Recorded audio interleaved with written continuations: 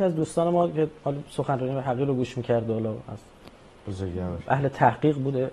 در ترکیه بحثی پیش اومده بود باش با یه عزیزه مسلمانی.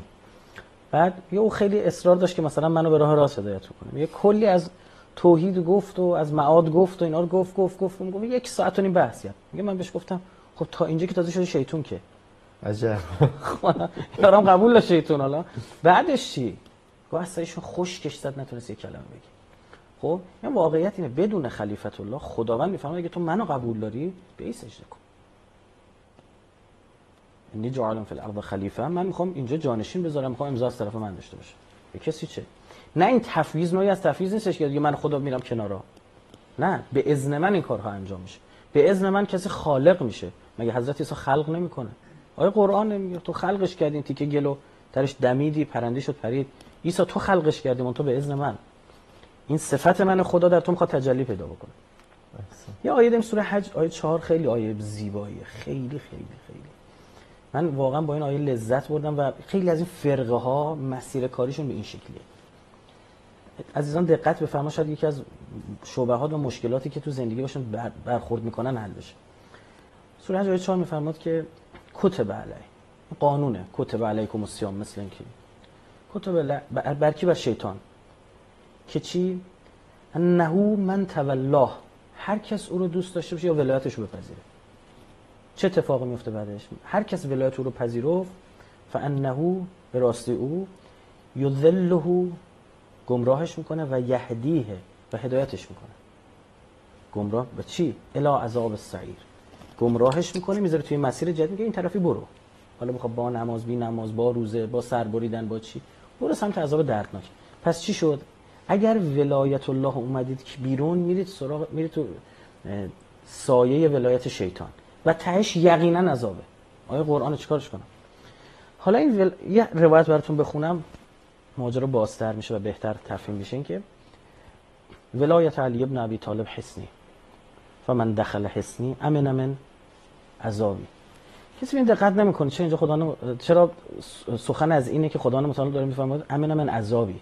این دقیقا با این آیه در یک راستاست یعنی این مسیره که به بهشت منتج میشه. مسیر دیگه عذابه. حالا می‌خوای شما بپذیر می‌خوای نپذیر می‌خوای با نماز باشن. نه این نماز من قبول ندارم.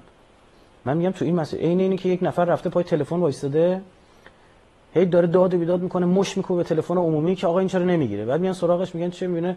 به جای کارت مثلا تلفنش کارت آبربانکش می‌زنه اون تو شماره می‌گیره. بابا تو باید ملزومات این مسیر رو رعایت بکنی. آخه نمیشه که تو با کارت آبربانکت بخوای مثلا زنگ بزنی به جایی.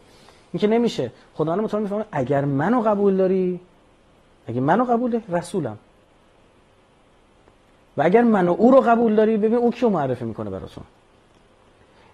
اگر یه راهی رو من شما تهران شروع کردیم اومدیم تا در عوارضی قم رسیدیم زدیم جاده خاکی. ما نرسیدیم به قم یک نفر چه ده مترم بیاد تو اون مسیر بزنه که اونم نرسیده. یعنی این مثال تستیه. شما راه حل رو برو برو برو برو برو 99 درصد راه حل رو برو جلو. اون آخر 6 تقسیم بر 3 مساوی دو رو انجام نده. شما به جواب می‌رسی؟ نه. یا اون کسی که از اول حلش نکنه. اونم به جواب نمی‌رسه. به جواب رسیدن یعنی هدف عبودیت که حالا شما می‌خوای غرق در لذات الهی بشی به بهشت خدا برسی به نعمت اصلا اصلی ترین نعمت لقاء الله برسی به جواب برسی. بی مسیر ولایت الله که روی زمین میشه ولایت پیامبر به ولایت اهل بیت اصلا امکان نداره شما برسی. فلذا روزی که اینها زاویه گرفتن از ولایت اهل بیت ولایت امیرالمومنین شما باید ته این مسیر داعش رو ببینید. چیز بعیدی نیست چیز عجیبی نیست. همین جاده خاکی هست. بله لاجرم به داعش می‌رسه. لاجرم به تکفیر می‌رسه. لاجرم به این چهره کثیف و پلید و خبیث از وهابیت و تکفیری ها و اینا و سعودی ها می‌رسه. من اعتقاد دارم که از بزرگترین دوراهی های تاریخ قدیر بود. دوراهی های تاریخ. یعنی خیلی ها رفتن جاده خاکی. خیلی ها یک غربال عجیب غریب صورت گرفت به بهانه اینکه سریعتر بروند. بله بهانه هایی داشتن. آقا ما سنمون بیشتره حالا این بچ سنی نداره جوانه. در ساختار عشیره کسی نمی- نمیپذیره یه جوونه مثلا سی خورده سال بیاد بشه مثلا رهبر اجتماع؟ نه خدا نه متعال عمدن یک جوون سی خورده سال می‌ذاره ببینه تو خدا رو قبول داری نه. بله.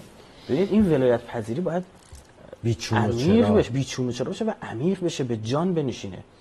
و تو آدم ها متفاوته. شما می‌بینی مثلا کل واقعه آشورا یک کلمه حرف از عباس ابن علی علیه السلام شما نمیشنوید تبعیت محضه. یه چرا؟ چرا اینجوری؟ چرا اونجوری نداره؟ می‌بینید مثلا یک فردی از یاران حضرت که بهشتی این فرد. یقینا با حضرته و علی الارواح التي حلت بفنائک. میاد به حضرت عرضه میداره که آقا وقت نمازه ها. ببین درکی این فرد از امام معصوم داره با درکی که عباس ابن علی علیه السلام از امام معصوم داره زمین تا آسمان متفاوته تو به امام معصوم داری میگی وقت نمازه؟ آقا خود نماز ایشونه. خود نمازه.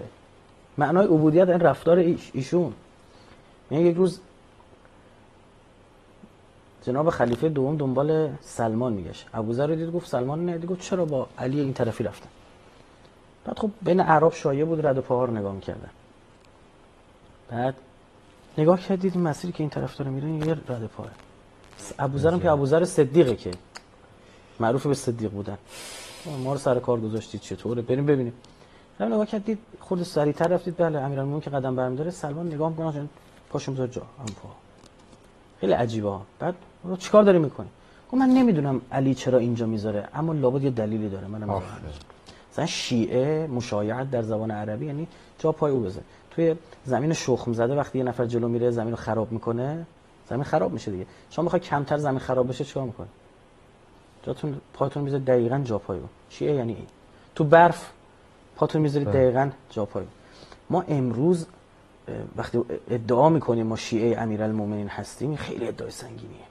یعنی می‌خوام جا پای بذاریم جا پای امیرالمومنین چقدر حالا منطبق اینها رو اون جا پای ما مسیر رو درست تشخیص دادیم اما خیلی آمون شدیم شبیه اون راننده هایی که خلافایی می‌کنیم و قرائت های شخصی و آره خلاف داریم می‌کنیم دیگه. هی پلیس هم برامون جریمه و- می‌بره و هی دچار بلا و ابتلا میشیم دیگه.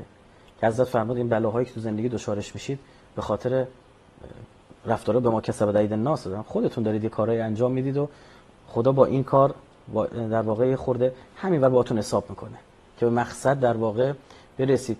افرادی هستن که اگر روز آیندهشون از امروزشون بهتر نباشه اون بهتر بمیرن. بمیرن چون دارن گناهشون رو بیشتر می‌کنن.